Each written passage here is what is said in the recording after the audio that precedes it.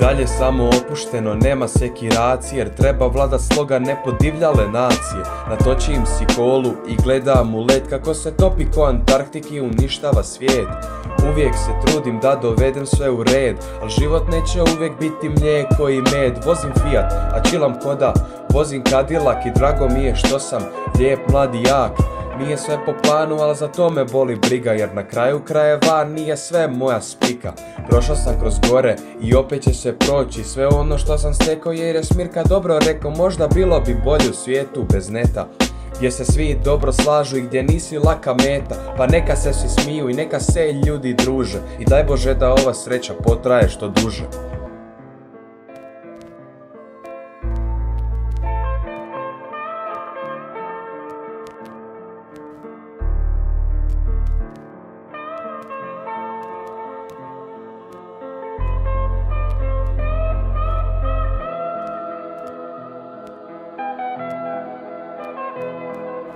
Sidni kraj bora i zapali cigaru Puši do kraja, uživaj u žaru.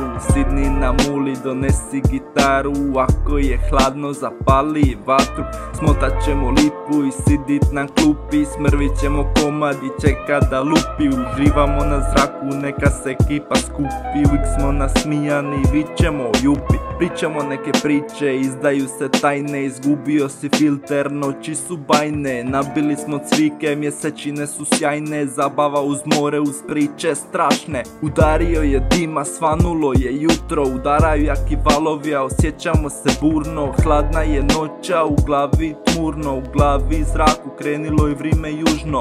Priče ostaju iste, a vrime se minja. Priče se mijenjaju, a žar dalje tinja Priče ostaju iste, a vrime se minja. Priče gubu tajne, a žar dalje tinja Izdaju se tajne, a noći su duge. Stao uz more, pa sad kako bude Šapni mi istinu pa neka vitar puša Dioli pa klupo neka se ostali druže. Noć je duga što bi mogli radit Večeras na kupu malo se ić ohladit Bacit na priškulu mogli bi to obavit ni u kuferu kazino ćemo provalit. Sanjamo zore a mi smo na klupi Mjesečina izlazi ona svašta nam nudi. Dobro jutro zašto se taj sjaj gubi? Zvijezde padalice sad svoju jedinu želju kupi.